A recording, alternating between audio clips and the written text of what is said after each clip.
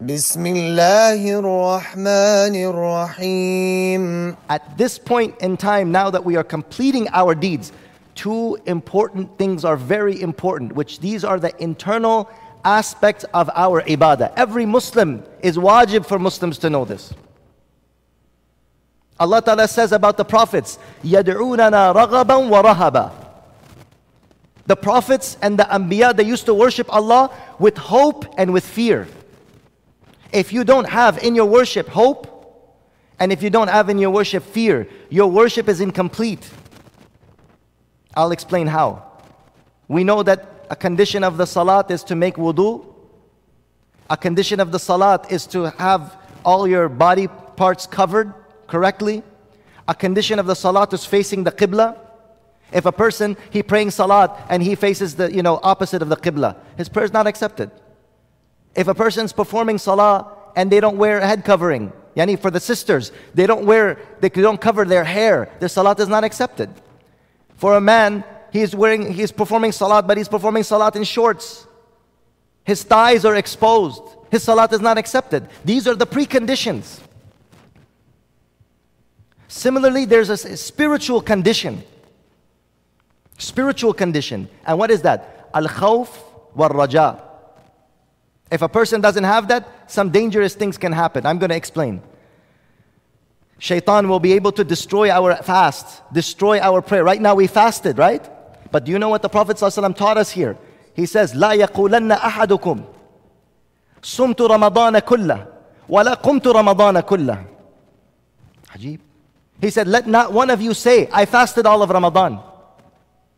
And I stand all the nights of Ramadan. Why not? What if you know you, st- you, you fasted all of Ramadan and you prayed all the nights of Ramadan? Why can't you say that? So the ulama mentioned, the Prophet said this is because we don't know what deficiency, what wrong intention, what mistake, what shortcoming we may have had. And this is prideful. I did all of it.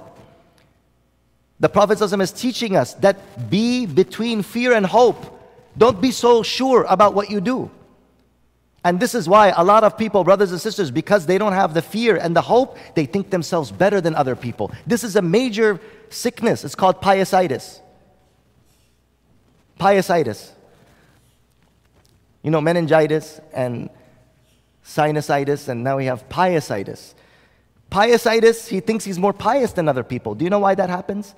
It's because he's sure that Allah has accepted it. He does not have khawf. You have to have in your ibadah khawf and raja. If you don't have the khawf, you will start thinking, I became the most pious person in the world. Ha, look at me, I fasted. Look at this poor, wretched badbacht. I cycle. Look at this badbacht. Hmm? This wretched, unfortunate loser. He did not fast. Subhanallah. Sadi Shirazi rahmatullah in the Bostan, he mentions a story of a pious man who woke up for tahajjud with his son. This is, remember, this is a nafil prayer. Tahajjud is a nafil prayer. So he woke up in tahajjud with his son. And his son told his father, he said, Oh my father, ببینی کل مردم که خواب هستن ما در عبادت خدا هستیم. He said, Oh my father, look at all of these people that are sleeping and we woke up for ibadah. He said, Oh my son, just because of this one word that you said, thinking yourself better than others. Maybe their sleeping is better than our worship. Do not say this, O oh my son, that you are better than them, because we don't know did Allah accept our deeds or did not accept our deeds. You don't know if Allah accepted or not. And what a beautiful advice is being given by Ibn Rajab Hanbali. That كان السلف الصالح يجتهدون في إتمام العمل وإتقانه. ثم يهتمون بعد ذلك بقبوله that the Salaf al-Salihin, they would make an effort to do their action perfectly. But then after that, their hearts would be fearful that, Ya Allah, is my prayer accepted? Is my fast accepted or not accepted? Brothers and sisters, if we don't have this fear, do you know what's going to happen? We're automatically going to think ourselves better than others. I fasted all of Ramadan. I prayed all of Ramadan. Look at this wretched person. Look at this badbakht person. He didn't fast. He didn't pray. Leave everybody's situation to Allah. Allah Ta'ala knows. Allah subhanahu wa ta'ala forgave a prostitute because of the water that she gave to a thirsty dog. I'm not encouraging that people should leave fasting and say, My heart is clean. This is another deception of shaitan. Shaitan will do whatever he can. He has a whole list of tricks up his sleeve to destroy you. This is another trick. Oh, قلب ما پاک است قلب ما صاف است من چی از نماز خواندن ندارم My heart is clean. I don't need to pray. My heart is clean. I don't need to show off to people in fasting. Oh, zalim, this is not showing off. This is the command of Allah. When the boss tells you to do the job, said, Oh, my boss, you know that my heart is clean. You know I'm a loyal employee. You know I'm a loyal employee. Don't use this one. I'm, Amir, don't use this. You know that I'm a loyal employee. I don't need to go and do the job right now. You know how loyal I am. I don't need to prove my loyalty. I don't need to be a show off like all the other employees. If an employee says that to the employer, the employer will fire them immediately. This person is making bahana. This person is bana juime This person is making excuses. I don't want to show off like the other employees. My heart is so pure. I am the most loyal employee. I don't need to prove my loyalty by doing work. it's so foolish, right? I don't need to prove my loyalty by doing any work. I want to get free salary by sitting you know, at the job and getting nothing. So, brothers and sisters, we have to watch out for the shaitanic thoughts that come in our mind by khawf and raja. Right here, the Salaf Salihin, Allah Ta'ala mentions, وَالَّذِينَ يُؤْتُونَ مَا آتَوْا وَقُلُوبُهُمْ وَجِلَةٌ annahum ila rabbihim raji'un. And those who give what they give, and those who do whatever they do, and their hearts are trembling that we are going to go back to Allah. Allah mentioned in Surah An-Nur, one of the qualities of the people of Allah is that their hearts will be trembling. So Aisha Siddiqa asked, Ya Rasulullah, is this talking about the people who are stealing and the robbers and the killers and the murderers? Those who do what they do and their hearts are trembling that they're going to return to their Lord. He said, No, this is the talking about the people who give charity and they're fasting and they're praying and they're fearful that Allah might not accept from them. وَالَّذِينَ يُؤْتُونَ مَا آتَوْا Those who give what they give of charity. And those who do fasting and prayers, but their hearts are trembling. annahum ila rabbihim raji'un, that they're going to return to Allah and Allah might not accept their worship. Why? Allah Ta'ala is merciful. And then we have raja also. Now don't become too khawf. That's why al-imanu bayn al-khawfi wal-raja. Look at the, the, the beauty of our deen, the balance. Now you have the khawf. Allah Ta'ala might not accept. But then we have raja also. What is the meaning of raja? Raja is that hope that if Allah subhanahu wa ta'ala forgave a sinner because of water that she gave to a dog. You see? Allah forgave a sinner because of the water that she gave to a dog. Inshallah, I have hope that Allah will accept my 30 days of fast. Inshallah, Allah is so merciful. Allah forgave the sinner and I'm doing my best. I'm also a sinner, but I'm doing my best. Inshallah, Allah Ta'ala will accept me. من صام رمضان إيمانا واحتسابا غفر له ما تقدم من ذنبه. Anyone who fasts the month of Ramadan with iman and hoping for the reward. You see the hope, hoping for the reward, then Allah will forgive all the past sins. So, brothers and sisters, if we have khawf in every action we do, in our Hajj, when we do Hajj, we come back, my name is Haji Filani. You have to say Haji after my name. If you don't say it, then your roza is not accepted. That's it. You have to say Haji with my name. You're so sure about your Hajj getting accepted? Subhanallah. Khawf. In every action, we have to have the khawf. And then we have to have raja, hope. No, inshallah, Allah is Arhamur Rahimeen. Allah Ta'ala is Shakur. He is the most appreciative of the deeds that we do. Inshallah, that I have hope that Allah Ta'ala will accept my deeds. Why? Because when Allah has given you the tawfiq to do that action, that means that Allah wants to accept it from you. Why would He give you the ability to do it if He didn't want to accept it from you? This is what the Salaf has also mentioned. Subhanallah. If Allah does not want to accept you, why did He make you do dua? The fact that He gave you the tawfiq to make dua, that means that Allah is giving you, inshallah, the acceptance as well. This is mentioned by the Salaf, by the pious people that the fact that Allah gave you the ability to pray, it means that He wants to accept your prayer.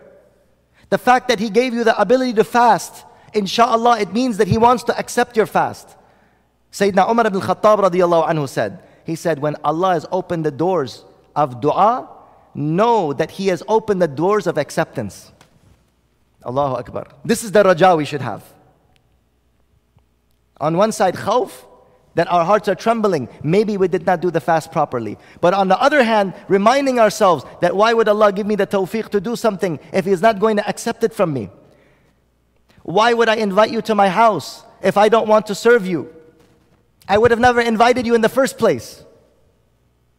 If I didn't like you, I wouldn't have invited you to my house in the first place. If I didn't like you, I would have never called you in the first place. The fact that Allah has called us, the fact that Allah has invited us, the fact that Allah has accepted us, inshallah, it means that He will give us the, the acceptance, inshallah, as well. So these are just some of the things, brothers and sisters, that we should be taking into consideration. That in the end of every action, إذا جاء نصر الله والفتح ورأيت الناس يدخلون في دين الله أفواجا فسبح بحمد ربك واستغفر This is another point. When Nabi Kareem says that when help from Allah and victory comes to you, O Muhammad and you see people entering into the deen of Allah in large numbers, then glorify Allah, thank Him, and make istighfar. This is how we celebrate. That when we complete an action, when we complete fasting, when we complete a deed, when we complete a effort, after that we should thank Allah, glorify Him. That is why on the Eid day, what do we say? Allahu Akbar, Allahu Akbar. La ilaha illallah Allahu Akbar, Allahu Akbar walillah. Thank you, O Allah. You are great, O Allah. You are much more worthy than all of this that we have done, Ya Allah. We glorify Allah. That glorification is thanking Allah. And what do we do? We make istighfar. Why do we make istighfar? We did not commit a sin. Do you notice that after we perform the salat, Assalamu alaikum wa rahmatullah, Assalamu alaikum wa rahmatullah, Allahu Akbar, Astaghfirullah, Astaghfirullah, Astaghfirullah, Allahumma anta salam wa minka salam. Why do we make istighfar? We didn't commit a sin. We did a good deed. But the reason the ulama mentioned why we say istighfar after our prayers, we say Allahu Akbar, yani Allah is greater than this prayer. Allah is more worthy than this. This prayer does nothing to fulfill the haqq of Allah's majesty. We can never fulfill the haqq of Allah. That's why we say Allahu Akbar. Then what do we say? Astaghfirullah, astaghfirullah, astaghfirullah. Oh Allah, forgive me that of any of my deficiencies. Oh Allah, forgive me for any of my shortcomings. Oh Allah, forgive me that I am performing this prayer, but my mind is here and there and not focused on concentration to worship to you. This is another point to make istighfar in these last moments. And the most beautiful dua that combines the khawf and raja. All the brothers and sisters should make this your amal after every action, after your prayer, after your fast, after your hajj, after your charity. What should we say? رَبَّنَا تَقَبَّلْ مِنَّا إِنَّكَ أَنْتَ السَّمِيعُ الْعَلِيمُ The dua of Ibrahim and Ismail alayhi salam. Ayat number 186 and 187 in Surah Al-Baqarah. وإذ يرفع إبراهيم القواعد من البيت وإسماعيل ربنا تقبل منا إنك أنت السميع العليم The dua of Ibrahim and Ismail that, Oh Allah, accept from us, even though our actions are not worthy. تقبل منا إنك أنت السميع العليم Verily, you are the hearing of our prayers and you are the knowing of our intentions. And then in the next ayat, ربنا وبعث فيهم رسول ربنا وبعث وجعلنا مسلمين لك ومن ذريتنا أمة مسلمة لك وأرنا مناسكنا وتب علينا إنك أنت التواب الرحيم So when we say this dua, ربنا تقبل منا إنك أنت السميع العليم This is what? It is a hope. It is a hope. Ya Allah, we ask of you to accept. Hope. This is hope, raja. وَتُبْ عَلَيْنَا إِنَّكَ أَنْتَ التَّوَّابُ الرَّحِيمُ And forgive us. This is khawf. Ar-raja, umid, and khawf. رَبَّنَا تَقَبَّلْ مِنَّا We have hope in you, O Allah. Accept our prayers because you are the one who hears and you are the one who, know, who knows. وَتُبْ عَلَيْنَا And O Allah, forgive us. This is the khawf. إِنَّكَ أَنْتَ التَّوَّابُ الرَّحِيمُ You are the most forgiving. You are the most merciful. My Shaykh Rahmatullah used to say, this inshallah dua, if you say it, inshallah, it will guarantee acceptance. This is the dua of Ibrahim and Ismail alayhi salam. Any action that you do, whether it's your salat, whether it's your zakat, whether it's your hajj, whether it's your fasting, whether it's your tilawat, after you finish it, رَبَّنَا تَقَبَّلْ مِنَّا إِنَّكَ أَنْتَ السَّمِيعُ الْعَلِيمُ وَتُبْ عَلَيْنَا Oh Allah, accept it, and oh Allah, forgive us. Raja and khawf, subhanAllah, in one dua. May Allah subhanahu wa ta'ala accept us. This was the amal of the Salaf that they would be more concerned of the acceptance of the dua. With that being said, inshallah, a couple of announcements. Number one is sadaqatul fitr. Brothers and sisters, sadaqatul fitr, the Prophet ﷺ has made it binding upon every fasting person and non fasting person. If you are not fasting also in the month of Ramadan because of an excuse, you still have to give sadaqatul fitr if you are carrying the amount of zakat which is binding upon you. If you have the nisab amount on the day of, you know, this day, right now, then sadaqatul fitr is binding upon you and upon the head of every ho- the household, the youngins that are also, yani whoever you are in responsible for. Husband and wife, they should pay for they should pay separately. If the husband gives on behalf of the wife, it's sufficient. As she knows, she should know about it. But if she has her own responsibility, she has her own goal, she has to give her own zakat. Therefore, her sadaqatul fitr should also be given herself. If it is given on behalf and it is known, that is fine. Sadaqatul fitr has to be given before the Eid Salat. So discharge it now, ASAP, before the inshallah uh, the end of Ramadan comes, so that it is discharged. Tu'matul lil masakin. It is a gift for the masakin so that they also have something for the day of Eid to have to eat, to enjoy. And tuhratul lis-sa'imi min al-lagwi wal-rafath. And it is a purification for the fasting person for the mistakes and for the wrong, inappropriate things he may have said or did in that month. That's point number one. Point number two, the month, the, the inshallah, Eid, it will possibly be, tonight is moon sighting. It might be, inshallah, depending upon the moon sighting, Saturday. It's a possibility because there's 29 days. A month is 29 days and 30 days. The Prophet ﷺ mentioned this hadith that the month of Ramadan, Hajj, and the, the, the, the month of Hajj and the month of Ramadan, they do not become incomplete by 29 days. Megan, oh, when when it becomes 29 days. This is wrong. The Prophet said, No month of Ramadan becomes cut because of 29 days. If the moon is seen in 29 days, that 29 days is complete. It's not the, it's not the number of days, it's the sighting of the moon. So if a 29 days is also a complete month, some people say this, Ya groza khordan. They ate one day. This is a completely wrong and inappropriate and incorrect statement. The Prophet said that this month does not become deficient when it's 29. People think it's 30 days. So if we see the moon 29 and then they do Eid on the next day, then they say, oh, they ate one day. This is ignorance. The Prophet said the month of Ramadan does not become cut if you see the moon on 29 and then you do Eid the next day. This is a full month. The Prophet said this because people used to say, oh, they ate one day or they, you know, skipped one day or something like that. No, the month of Ramadan does not become less to 29 days. Understand? So this is another. So depending upon the moon sighting, which is tonight, inshallah, possibility that it will be first of first of Shawwal will be tomorrow, or it's a major possibility that inshallah it's going to be Sunday. With that being said, brothers and sisters, we are in touch with our local authorities there will not be public Eid Salat here at Masjid al Huda. There will not be public Eid Salat at Masjid al Huda or in any of the masajid that I am aware of. We are cooperating with our local authorities. We are with our representatives in CAIR. It's very, very important for us to take these things into consideration. Those amongst us who know how to do the Eid prayer, you can learn the Eid prayer and in an open area, maybe in the backyard where there's some access that people can come, they can lead the Eid Salat with three other males, the Imam, including three other males. The same requirements for Jummah.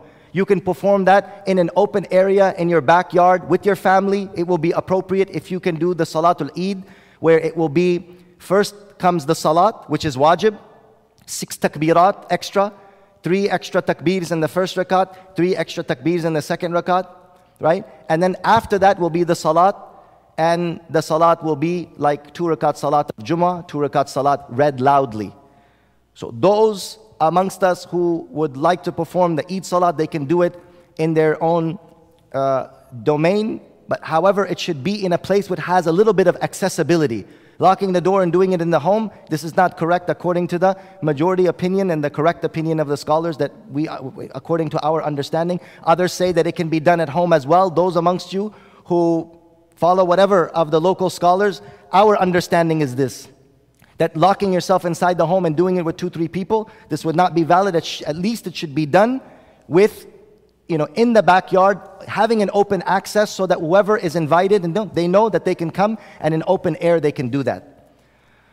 So let's take into this consideration that we don't want to immediately now, after some things are opening, we now open up the uh, masajid without any taking any precautions.